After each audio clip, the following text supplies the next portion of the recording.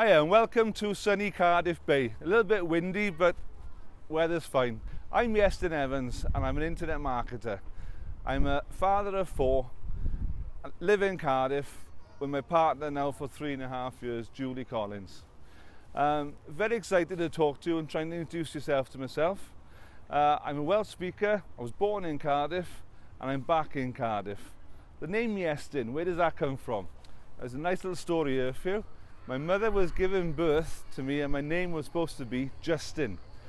And Shirley Bassey was seeing a friend of hers in hospital, saw me and said to my mother, you cannot call a baby Justin. So my mother changed it to Yestin. So thank you Shirley Bassey for that. I didn't want to be called Justin. Now, over the years, uh, as most of us, we struggle in life, ups and downs, and I turned to internet marketing. Uh, behind the camera here is a good friend of mine, Adrian Hibbard, who has been helping me now over the last couple of months.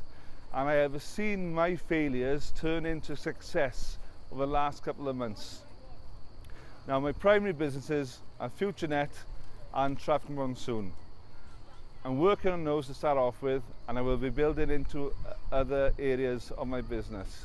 But the key thing that I want is to help you build your companies and help you um, build your teams.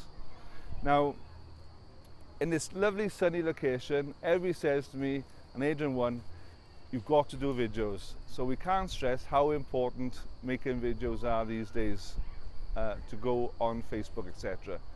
It's not a very good thing, a uh, nice thing to do, and as you can tell, I am nervous, but it's got to be done.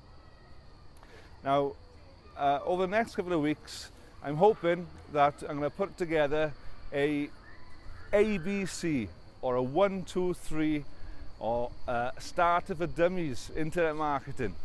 Now Adrian's agreed to put a couple of pointers down for me and it's my job to help put that together so we can help build uh, the teams in FutureNet, track them soon and see our teams really grow and see your friends list in and your contacts growing.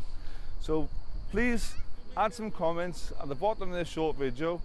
Uh, tell me what you want from us and we can help you. So from for now, speak to you again and see you on the next video.